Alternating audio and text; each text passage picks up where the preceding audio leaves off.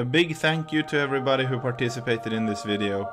On Friday the 22nd of September I'm going to do a stream, so if you wanna meet me and say hi you can come there. It will start around 2 Swedish time and I will probably play Mega Maker or Mario Maker.